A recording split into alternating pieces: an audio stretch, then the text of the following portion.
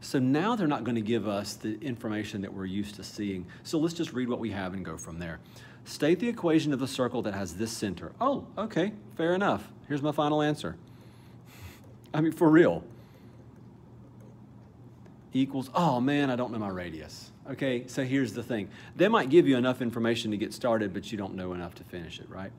So it's going to include that point. And I have a couple strategies for you here.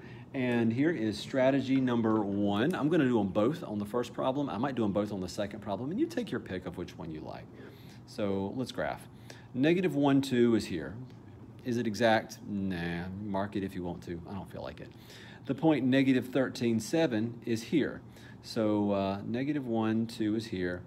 Negative 13, 7 is here. And draw your circle if you want to.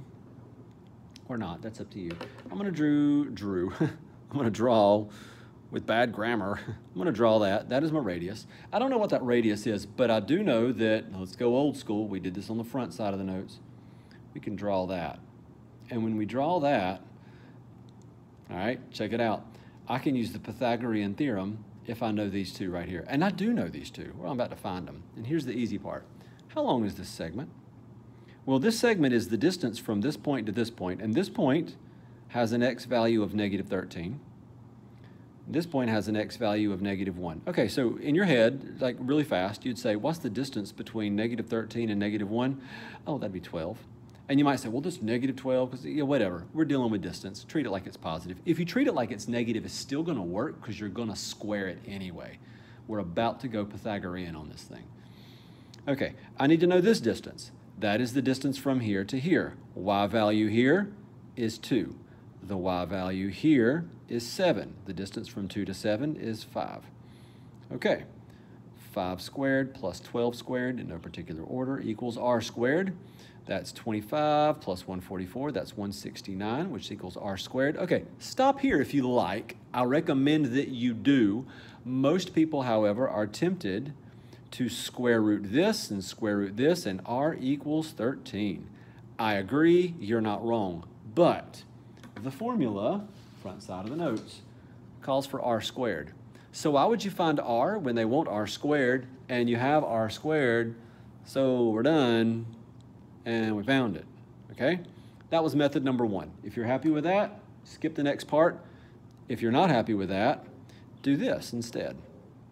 I'm going to write the formula one more time. x minus h squared y minus k squared equals r squared. And then we'll switch colors again. Let's go blue. This is h, this is k, this is an x, this is a y, and we're going to plug in an h, a k, an x, and a y into this formula, and we'll have everything on this side cleaned up nice and neat, and it's going to equal r squared. Some people like this method better. So here goes x minus h, negative 13 minus negative 1, square it, and then y minus k, there we go. Crank all that out. That's negative 12 squared. That's 144. That's 5 squared. That's 25. It's looking the same at this point. 12 squared, 5 squared, that's 169 equals r squared. It's another way of doing the exact same thing. Next problem, I'll do both of them. I'll do both methods as well. Take your pick, doesn't matter. Um, I don't have much of a preference. If I'm given a graph, I just find it easier to count. If I'm not given a graph, I find it easier to do this. It's just my opinion. Okay. State the equation of a circle with a center. I've already got part of my answer and I'm writing it in the wrong color. We'll be all right.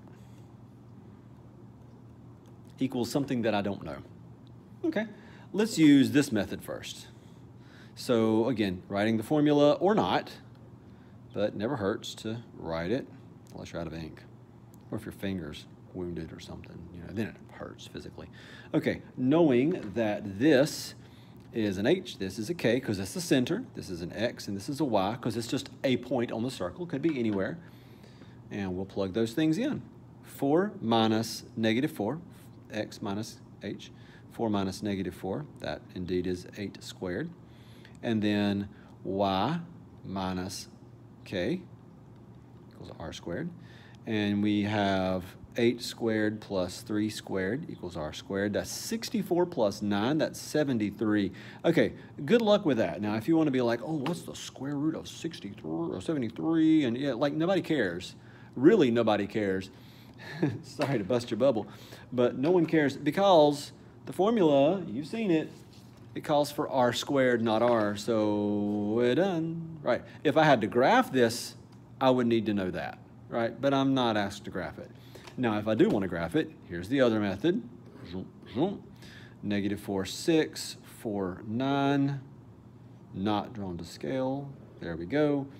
And I would simply do the same thing I did a second ago. There's my radius. This goes from negative 4 to positive 4. So this distance is 8, so 8 squared. This point is at 6. This point is at 9. Let's close those parentheses. So this distance goes from 6 to 9. That's 3. 3 squared equals r squared. It really ends up looking the same as this. So same, r squared equals 73. There it is.